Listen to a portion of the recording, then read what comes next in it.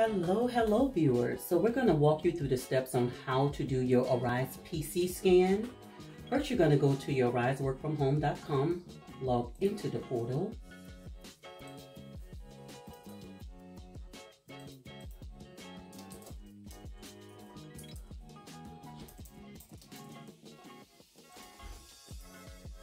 All right, allowed everything to load after you log into the portal.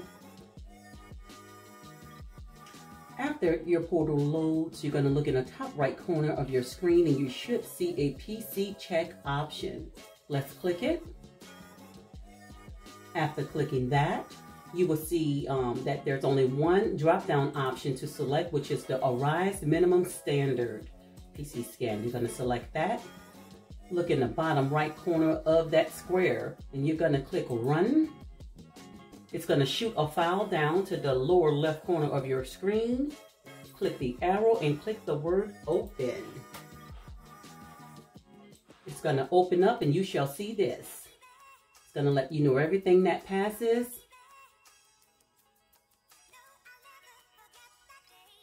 You must be patient until it's done.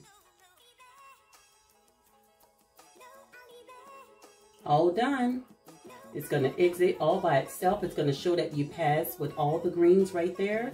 You close it, you log out, and you are good to go. Have a blessed day.